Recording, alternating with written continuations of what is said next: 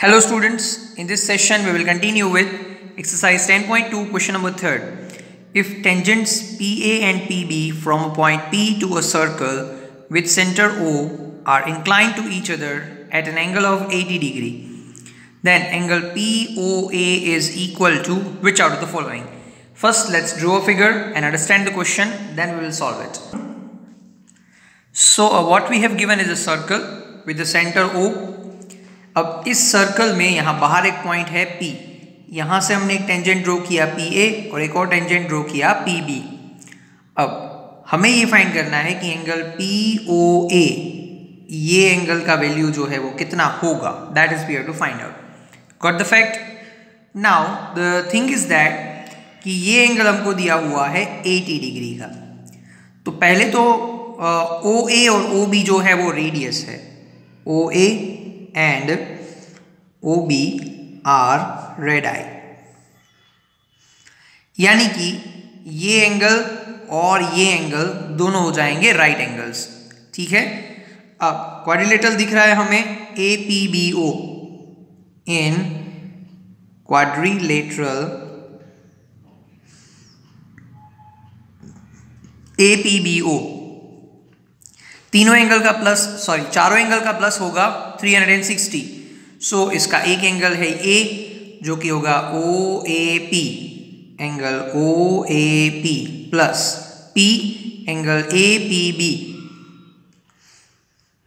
plus B angle P B O plus O angle A O B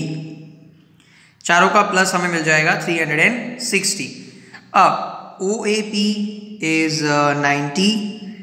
APB is uh, 80, PBO is again 90 and angle AOB हम यहाँ से find कर लेंगे done with this now 9 plus 9 is 180 180 plus 80 that is 260 plus angle AOB is equal to 360 got the fact अब 260 को right side ले जाएँगे तो एंगल ए ओ बी हमको मिल जाएगा 360 sixty minus two that is equal to 100 तो ये पूरा एंगल हमको मिल गया है 100 अब 10.1 थियरम ने हमने ये पढ़ा है कि ये दोनों ट्राइंगल जो है वो होते हैं congruent triangles so here triangle A O P is congruent to triangle B O P यानी कि इन दोनों ट्राइंगल्स में ये वाला ए एंगल और ये वाला ओ angle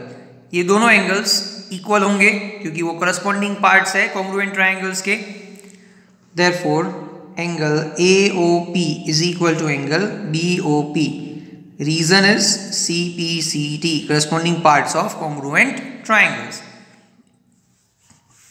now the thing is that कि अब हमें ये दोनों एंगल इक्वल मिल गए हैं। अब ये पूरा एंगल हमारे पास है हंड्रेड यानी कि इन दोनों का प्लस हो जाएगा hundred